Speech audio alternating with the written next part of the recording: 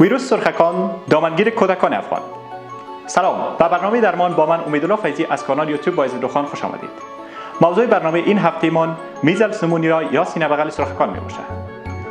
سینه بغل و سرخکان از جمله امراضی هستند که تعداد واقعات آنها در افغانستان خیلی زیاد می و تعداد زیاد از اطفال از اثر آنها جان خود را از دست می دهند اما ارتباط میان سینه بغل و سرخکان چیست این هفته داشته های مفید را برای شما در نظر گرفتیم و یکی از دکتر سایبای ورزیده را در برنامه با خود داریم پس با ما همراه باشید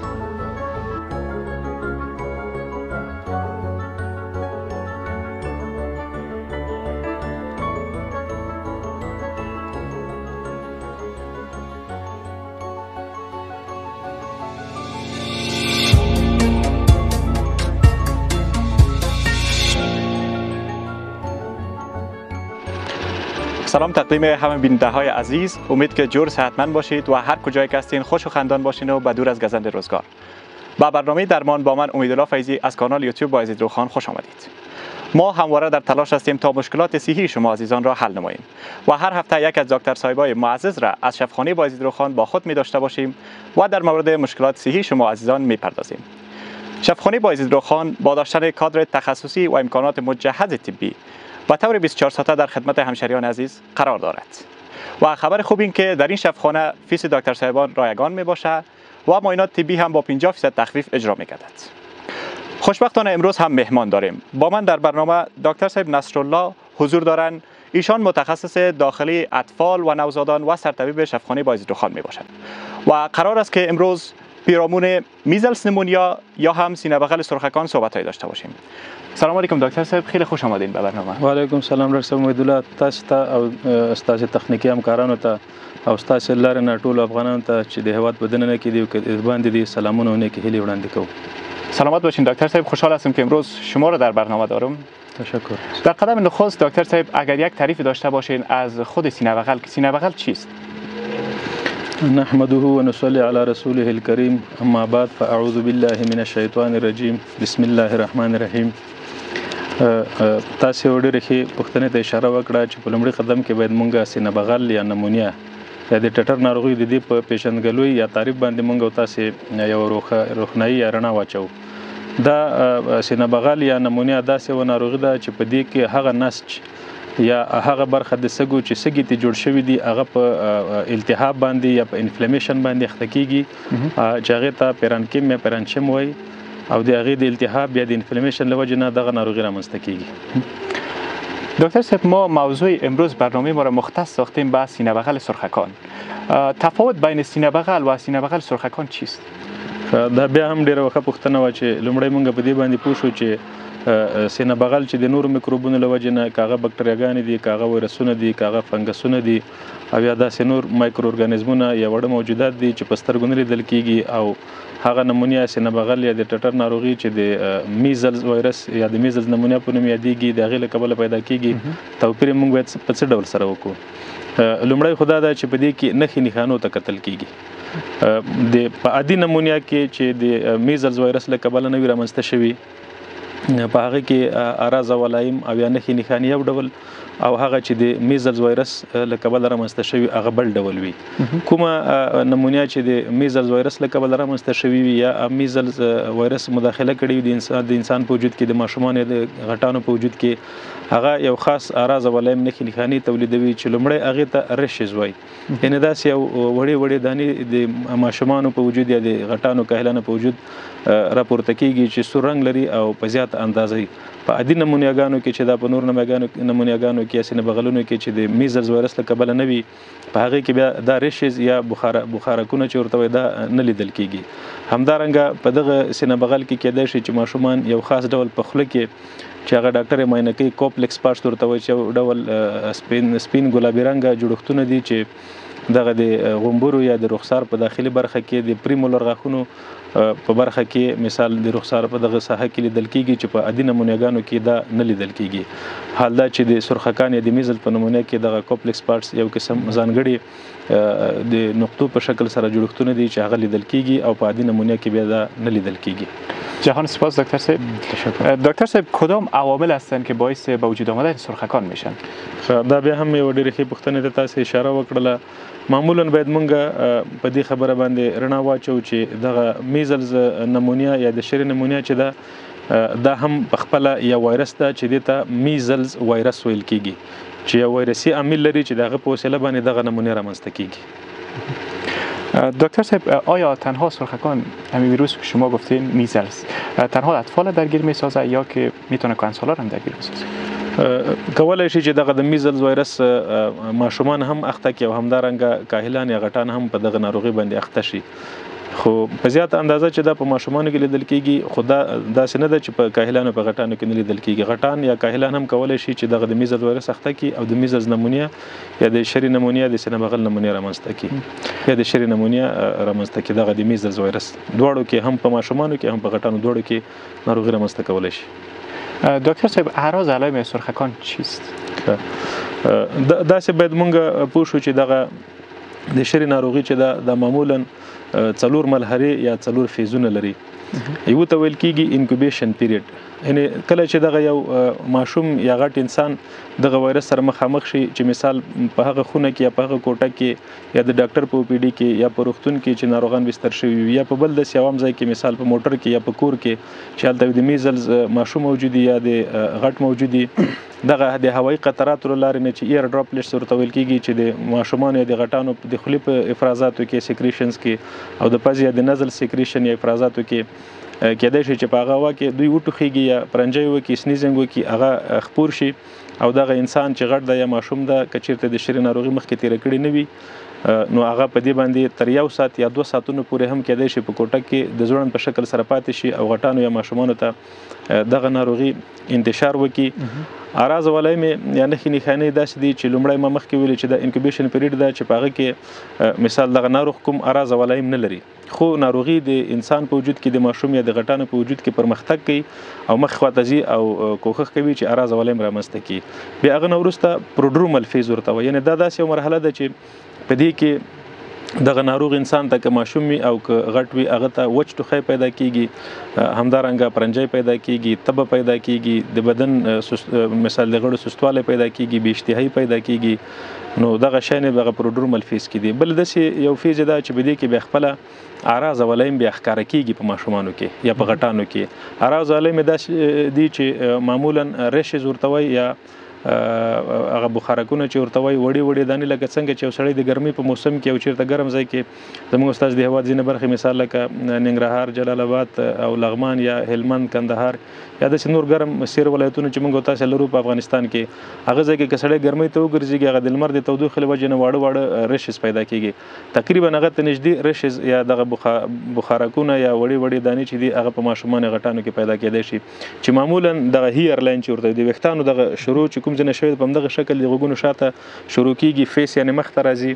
همدارنګه نیک غاړې ته راځي همدارنګه دغه بازوګانو یا آمس چې ورته وایي دواړه طرفونه ټرنک یا جزه چې ورته وایي دې ته خېټې ته همدارنګه لیګز یا مثال دغه ورنونو ته او حتی سولز یا د پښو تلو ته هم دغه ریشز چې دي دا پیدا کېدای شي هغه نه وروسته ماشومانو ته مخکې مونږ ویلي چې دوی ته ټوخی مخکې مو خو بیا دا ټوخی هم پیدا کیږي بیشتیایم هم پیدا کیږي بعضې وخت کېدای شي چې کانګ یو وصال یعنی استفراقات هم پیدا شي کېدای شي بیشتیایي مثال هم پیدا شي خېټه کې درد هم پیدا شي او همدارنګه کېدای شي چې ټوخی په زیاته اندازه په دې ماشومانو کې منځته راشي نو دغه اراز ولایم دي سپاس دکتر صاحب دکتر صاحب طبق گزارش سازمان صحی جهان که تقریبا چند ماه پیش نشر شده بود در او آمده بود که در جریان سه ماه تنها چهل و دو هزار کودک در افغانستان به سرخکان مبتلا شده و در سه ولایت افغانستان تنها صد نفر صد کودک جان خود از دست داده دلیل شیوع خود سرخکان در دو سال آخر چیست؟ دا ډیره ښه پوښتنه واقعیت ده چې زمونږ تاسو دغه ټولنه کې یو خو دا ده چې واکسین په زیاته اندازه باندې خلک دې ته مراجعه نه کوي، په زیاته اندازه واکسین نه کوي. یو وجه دا کېدای شي چې دلته واکسین په زیاته اندازه نه کېږي، په زیاته کچه نه کېږي، څوک یې نه تطبیق کوي. یو علت خو یې دا کېدای شي چې میزلز یا شری یا سرخکان په رښتا هم چې زموږ خپله کلینیکونو یا روغتونونو ته چې مراجعه کوي، ماشومان او غټان حتی شل کلن، پنځه ویشت کلن په زیاته اندازه په شری باندې اخته شوي وي. یو علت یې د واکسین نه تطبیق ده. چې ماشومان ته په ټیم سره یا په خپل وخت سره یا بيخي په هیڅ ډول مطلق ډول نه تطبیق کیږي دوهم دا د زمونږ استاد ټولنه غریبه ده چې خلک ډیر صحي خواړه یا مثال ډیر خو خړو ته لاسرسي نه لري او د بدن معافیت یا ایمونټي چې ورته دا کمزوري کیږي په دې کې هم د میزلز وایرس په زیات اندازه مثال د خبرېدو چانس شته ده او بل زمونږ استاد ټولنه او سنتي ټولنه ده چې مثال په یو کور کې په زیات اندازه باندې زمونږ استاد د کور غړي په زیات اندازه اوسېږي نو دغه بیا یو کس نه بل کس ته سرایت په زیاته اندازه کیږي همدارنګه زمونږ استاد سي ټولنه کې چې دا مثال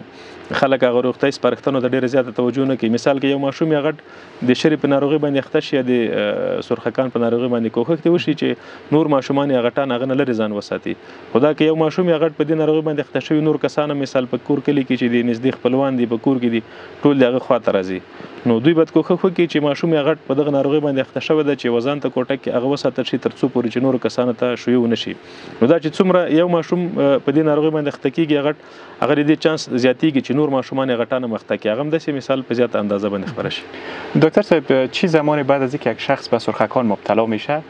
باز به سینه بغل مصاب میشه خب دا خو داسې ده چې مخکې مې یادونه وکړه یو خو هغه ماشومان یا غټان چې هغوی ته مخکې واکسین تطبیق شوی نه وي او بل په کافي اندازه ښه خواړه ونه لري ښه پالنه دغه ناروغانو ونه شي نو په دې کې دغه میزلز وایرس په خپله یو امیونټي یا دفاعي سیستم د انسان دا کمزوری کوي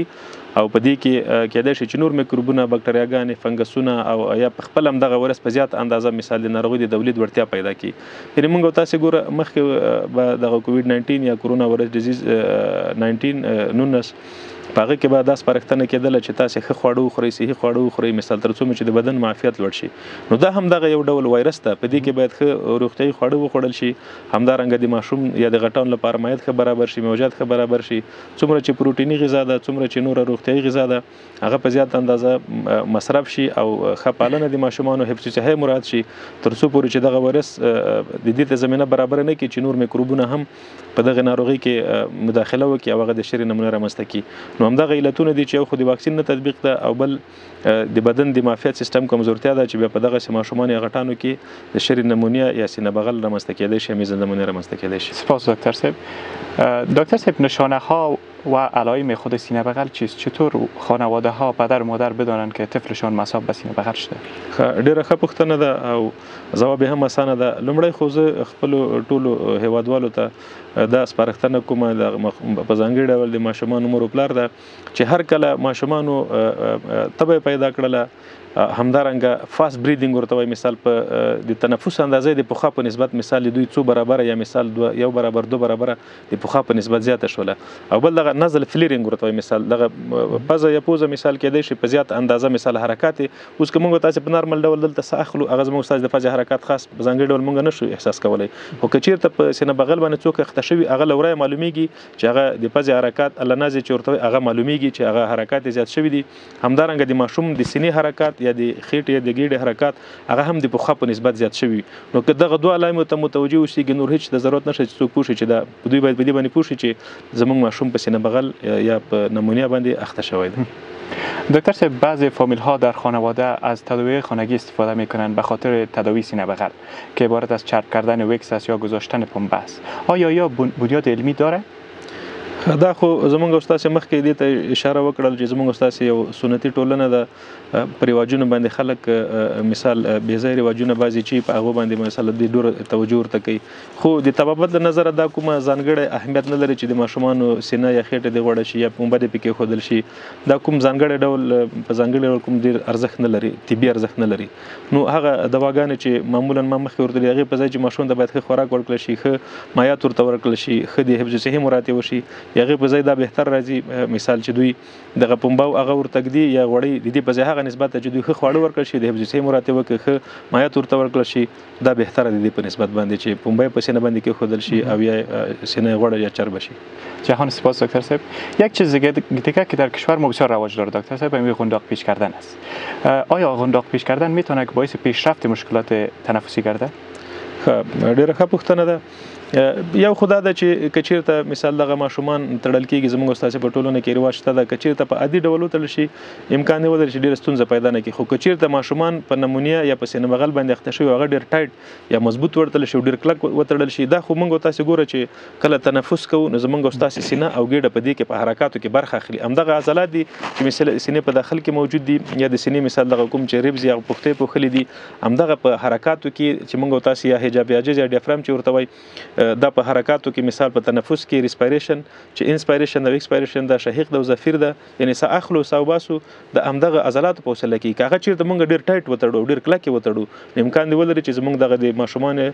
د سینه بغل ستونزې نورې هم زیاتې کړي نو باید ډېر ټایټ او کلک ونه تړل شي که چېرته په عادي ډول وتړل شي کېدای شي ډېرې ستونزې پیدا نه کړي خو که ټایټ وتړل شي بیا امکان دی ولري چې ستونزې ډېرې زیاتې کړي بله دکتر صاحب دکتر صاحب برای تشخیص خود سینه بغل آیا تنها معاینات فیزیکی اعراض علائم کفایت میکنه یا باید معاینات طبی هم اجرا شود که مخکې مونږ اشاره وکړه یو خو هغه راز ولایم دي چې مثال یا ډاکټر دا ویني په خپل سترګو باندې ډاکټر خو کولای شي چې مثال دغه ناروغي تشخیص کړي چې د نمونیا سینه بغل ده خو بعضې لابراتواري معاینات یا لیبارټري انوستیګیشن دا هم مونږ لرو چې مثال په مختلفو سینه بغلونو کې خو مونږ تاسو موضوع چې نن دغه د میزلز نمونیا ده د شری نمونیا ده سرخکان نمونیا ده سینه بغل ده په هغې باندې موږ او تاسو دلته دغه خبرونه لرو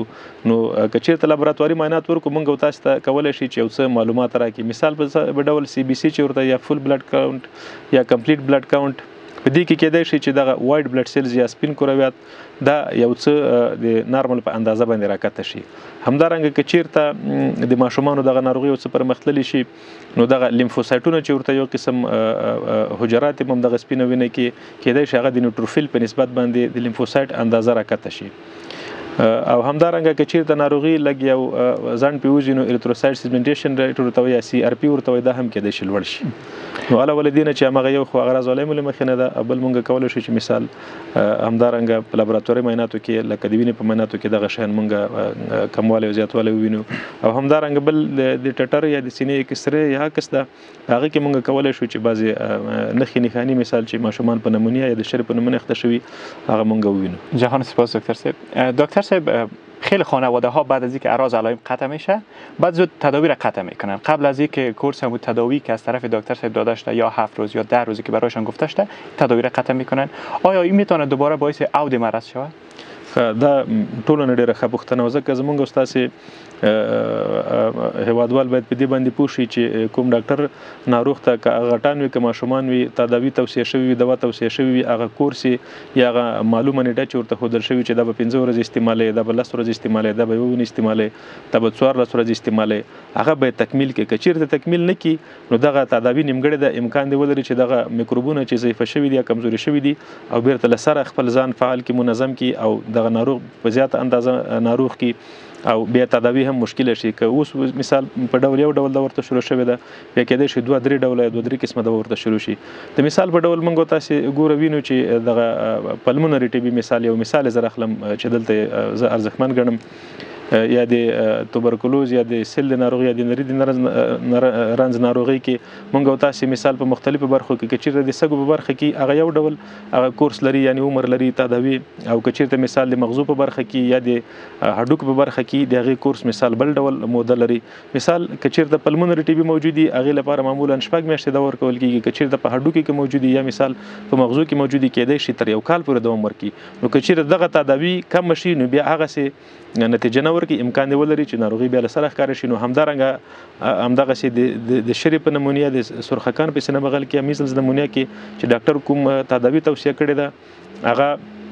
باید په خپل غندازې پوره کې خپل ورځې پوره کې ترڅو پوره چې ناروغانو په غټانو باندې بیا دغه ناروغي راونو ګرځيږي او د ناروغي د سختېدو یا د تشدید کېدو یا د سیورټي سبب نشي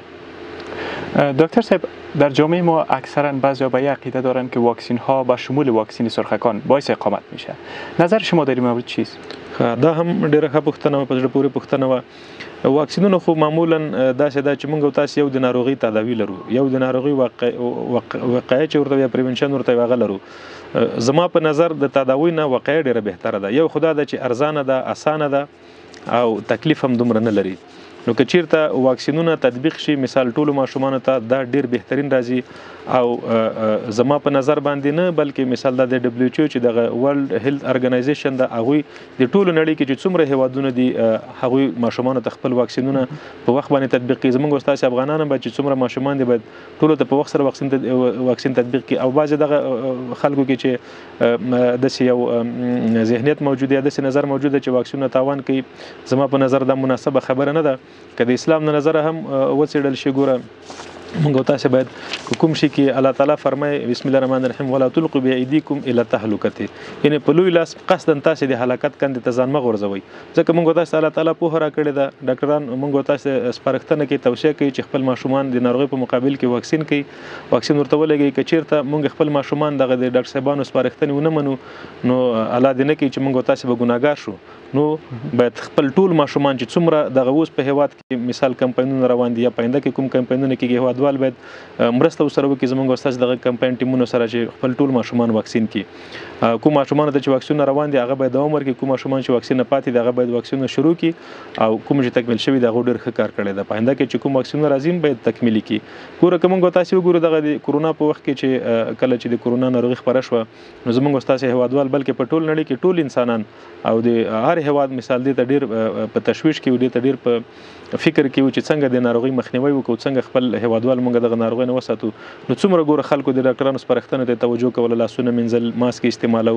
فاصله مثال په خپل منځ کې ساتله او دغه نور حفظ شوی شرایط یا مثال دغه کوم چې هایجینیک کنډیشن دی هغه ډیر زیات مراد کول همدغه چې په واکسین کې هم باید د ډاکټرانو خبري ومني نو زه د یو مسلمان یو د افغان د یو ډاکټر په صفت باندې مې خپل ټول هیوادوالو نه غوښتنه ده دا زمونږ یو اسلامي او افغاني وجیبه ده چې خپل ټول هیوادوالو ته وایي چې خپل ټول ماشومان باید دوی واکسین کې او دینه د هغو خلکو خبره دغه کې نه دي چې دوی دا واکسین دا تاوان لري نو واکسین ډیر زیات ګټور دی باید تطبیق کړي سپاس دکتر صاحب دکتر صاحب راه های پیشگیری از سینه بغل سرخ کان چیست؟ ډیره ښه خبر ده چې په دې موضوع باندې مونږ او تاسو یو څه معلومات ورکو یو خدا د ما مخ کې ویل چې واکسین ډیره ښه د مخنیوي لار ده چې باید واکسین ټول زمونږ او تاسو ماشومان چې څومره دی باید واکسین تطبیق شي ورته بل قدم کې باید مونږ او تاسو د خپل ماشومان او د خپل کورونو څومره چې زمونږ او تاسو کورونه دي که زمونږ او تاسو کوټې دي چې باغ کې وسوږي تر حتی هغه موټر پورې چې مونږ پکې سورلۍ کوو باید هغه ټول صفا وساتل شي پاک وساتل شي همدارنګه زمونږ ستاسو پخلنځي دي اشپزخانې دي هغه باید ډېر زیات پاک وساتل شي لاسونه پاک وساتل شي نوکان پاک وساتل شي او همدارنګه کوم ماشومان یا غټان چې په دغه ناروغي باندې اخته شوي دي هغه باید مثال داسې یو ځای کې شي چې نورو کسانو سره تماس بیخي کم شي کنه هغه څوک چې یو نفر یا دوه نفر خدمت کوي هغه سره په تماس کې نور کسان ډېر هغه ځای ته نږدې نشي تر څو پورې چې دغه ناروغي په زیاته اندازه نور هېوادوالو ته هم خپره نه شي نو دغه او بل ښه حفظوسوي خواړه دي ما درته ویل چې د بدن هغه معافیت لوړوي ایمونیټي لوړوي هغه نه باید ګټه واخیستل شي څومره چې په وس او توان کې سلامت باشین دکتر صاحب تشکر امروز یک مبحث عالی داشتیم امیدوار هستم که برای بیننده ها مفید تمام شده باشه بسیار زیاد تشکر میکنیم از اینکه تشریف آوردین و بر ما وقت گذاشتین از شما زیاد تشکر همکار تکنیکی شما زیاد تشکر میکنم یوه خبره په اخر کې زه بله زیاتوم، دغه په میزلز کې یا په سرخکان کې یا په شری کې یو دوه ډیر مهم شیان دي چې ډیر ارزانه دي او ډیر زیات ګټور دي چې د مړینې فیصدي یا سلنه یا هغه پرسنټیج چې د ډیر زیات کموي. یو ویټامین ای ده چې دا زموږ ستاسو د واکسینو په کمپاین کې ورکول کیږي باید ماشومان او غټان ټول ګټه ترې واخلي ویټامین ای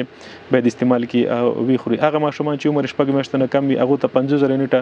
یو ورځ او 50 زره یونټه بل ورځ هغه ماشومان چې بیا شپږ میاشتو نه تر کال پورې عمرونه دي هغه ته یو لک یونټه یو ورځ یو لک یونټه بل ورځ او هغه چې مثال یو کال نه عمر لوړ دی هغه ټان دي 2 لک یونټه یو ورځ 2 لک یونټه بل ورځ ډیره زیاته ګټه ورته ممیږي او ډیر ارزانه دي په دولتي روغتونونو کې مثال په کوم چې زموږ استاد د حکومت لخوا نه دي هغه کې مر کول کیږي او په بازار کې پیدا کیږي او همدارنګه یو بل شی دا ده چې هغه ته زینک ویل کیږي چې دا هم ډیر ارزانه ده مثال د ګولې په شکل ترتیب شوی دی او د ټابلیټ په شکل سره ټبلیټ په شکل سره او همدارنګه د شربت په شکل سره ترتیب شوی دی چې دینه باید په دغه ناروغي کې په ځانګړي ډول باید ګټه واخیستل شي ترڅو پورې چې الله دې نه کې زموږ استاد هیوادوال ماشومان څومره افغان ماشومان دي زموږ استاد افغان ځوانان دي مشران دي مېندې دي خويندې دي ورونه دي پلرونه دي الله دې نه کې چې هغه دې ناروغي مثال د مرګ بایسونه ګرځي نو ډیر زیات رول پکې لري